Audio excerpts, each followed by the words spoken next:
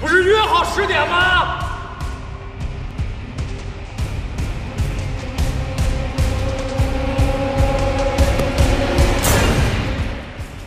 都是从哪儿来？公平交易，没见着钱能给你们筹码吗？肖组长，肖剑，精军支队支队长，七三零专案组组长。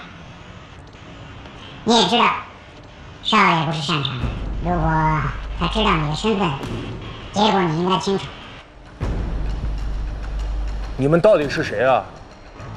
帮你的人，条件是，我也要筹码。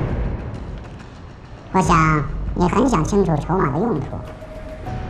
最重要的是，张华事情的来龙去脉。走。